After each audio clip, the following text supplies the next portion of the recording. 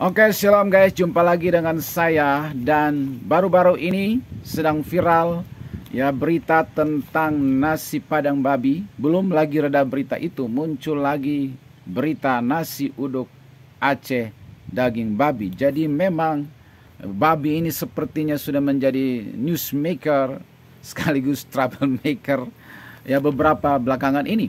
Nah, kali ini saya ingin bahas kepada kita sejak kapan daging babi itu halal bagi orang Kristen. Perlu diketahui bahwa akar kekristenan itu tidak bisa dilepaskan daripada Yahudi. Karena apa?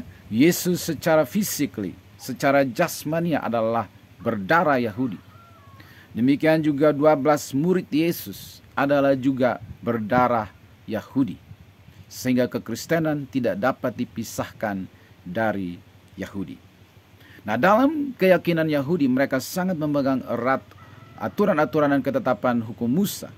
Di dalamnya adalah hukum halal, haram, dan sunat misalnya. Lalu tidak boleh bergaul dengan orang-orang non-Yahudi. Mereka dianggap kafir, mereka dianggap najis. Ya, tetapi ketika Yesus datang, dia melakukan suatu revolusi sehingga dia membaharui ya dia melakukan terobosan atau revolusi terhadap aturan itu misalnya dia melanggar aturan hari sabat. Dia menyembuhkan orang pada hari sabat dan dia berkata akulah Tuhan atas hari sabat ketika dia diprotes. Ya bahkan pada akhirnya ya lewat salib kematian dan kebangkitannya Yesus menggenapi sekaligus membatalkan Taurat itu. Ya, dia menyempurnakan dan menggenapi sekaligus membatalkan Taurat itu.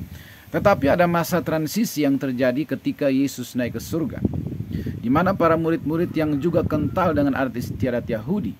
Mereka harus membuat pilihan yang jelas. Apakah percaya kepada Yesus plus memprak tetap mempraktekkan hukum-hukum seremonial yang ada di perjanjian lama seperti sunat, halal haram, dan dilarang bergaul dengan orang kafir? Atau seperti apa?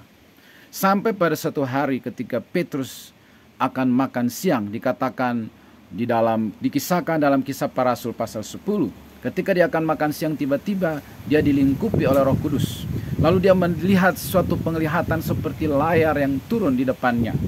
Lalu dia mendengar suara yang berkata sembeli dan makanlah padahal binatang-binatang yang ada di layar itu adalah binatang-binatang yang haram.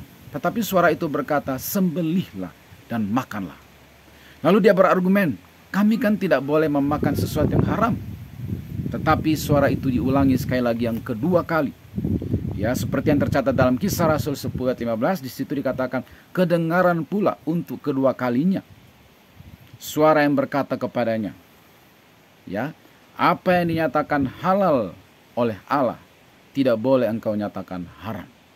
Jadi Allah sendiri melalui penglihatan itu berkata, sejak sekarang apa yang saya nyatakan halal tidak boleh kamu nyatakan haram. Ya, maka melalui peristiwa itu, sejak itulah boleh kita katakan bahwa hukum halal dan haram di dalam perjanjian lama dibatalkan sehingga bahkan babi pun menjadi halal. Karena apa yang dinyatakan halal oleh Allah tidak boleh dinyatakan haram oleh manusia ya. Nah, dalam kisah ini kemudian sebenarnya Tuhan meminta Petrus untuk kemudian pergi dan melayani satu keluarga yaitu Cornelius yang notabene adalah orang kafir, orang non-Yahudi, orang Romawi, pejabat yang butuh diselamatkan, butuh dengar Injil. Dan melalui penglihatan ini Tuhan perintahkan Petrus untuk kemudian pergi ke rumah Cornelius memberitakan Injil kepada Cornelius dan seisi rumahnya. Dan ketika dia sedang memberitakan Injil, ya, dikatakan Roh Kudus turunlah atas semua yang mendengar pada waktu itu dan mereka dipenuhi oleh Roh Kudus. Nah, boleh dikatakan sejak peristiwa inilah maka hukum halal haram dibatalkan.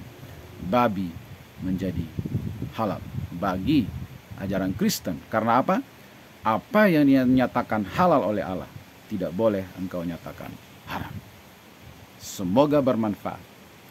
God bless.